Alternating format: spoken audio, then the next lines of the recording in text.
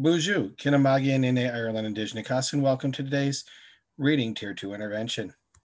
Today's episode, The Mighty Saguaro Cactus, Day 2.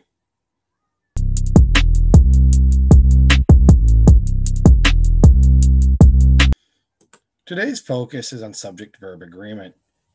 And a lot of times this is going to be based on how it sounds. They're going to give you in this example some two choices, and then you're going to go with the one that's based on the verb. A singular verb tends to end in with an S and the verb. So let me get the annotation tool here. The mighty saguaro stores water in its arms. If I said the the saguaro store water in its arms and trunk, you would understand it, but it doesn't sound quite right. Singular verbs tend to end in S. Many bird or birds make their nests in saguaros. Many bird? Many is plural. So, but I'm still, because they're grouped together, I'm going to go with birds. It sounds better that way as well. And that's the number one tool. The baby birds hide or hides. Now, birds, we have an S here. So we're going to go hide from predators. Number four, she feel or feels it is great to see a baby owl.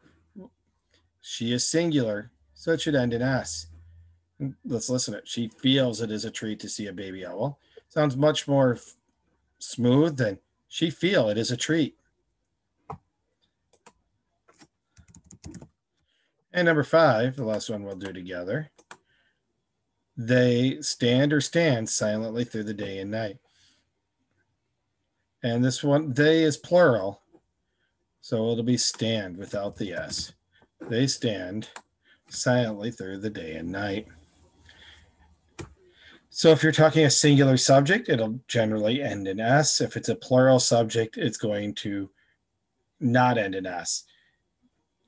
But you do have to pay attention to what when we see many. In this case, they put it all together. Well, really, the birds is being the subject. Many birds, and then if it had been one one bird makes their nests, or it would fit there. So kind of messing with you a little bit because everyone else was the verb. Okay, so remember to uh, take another time to read the Mighty Saguaro Cactus. You will have a Google form to finish these five, and we'll see you in our next class session. If you have any questions, reach out to me at Ireland at sagchipschool.net. I'm a P.